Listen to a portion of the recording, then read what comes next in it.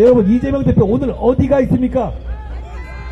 재판회가 있습니다. 여러분 앞으로 이런 일이 계속될 것이고 이런 불쾌한 상황에서 여러분 계속 이용당하실 겁니다. 한동훈 한동훈 한동훈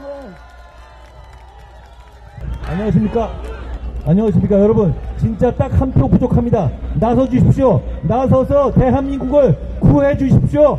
그러지 않으면 정말 우리가 생각하지 못한 무시무시한 세상이 올 수도 있습니다. 200석 가지고 조국 대표, 이재명 대표 같은 사람들이 자기 범죄에 맞게 법, 헌법 바꿔서 국회가 사면할 수 있게 하- 해서 자기들 셀프, 셀프 사면하는 거?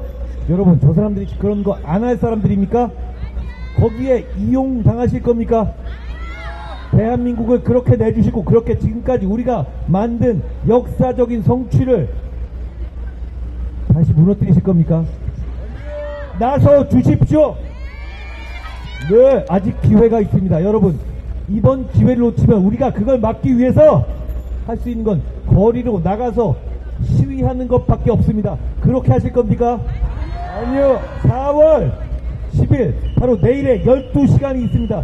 이순신 충무공께서 12척으로 나라를 지키셨듯이 여러분이 12시간으로 이 나라를 지켜주십시오. 아, 여러분, 이재명 대표 오늘 어디가 있습니까? 재판회가 있습니다. 여러분 앞으로 이런 일이 계속될 것이고 이런 불쾌한 상황에서 여러분 계속 이용당하실 겁니다. 나서 주셔야 합니다. 마지막 기회가 내일 본투표입니다. 여러분 김경진은 김영우는 일하는 척 하지 않습니다. 반성하는 척 하지도 않습니다.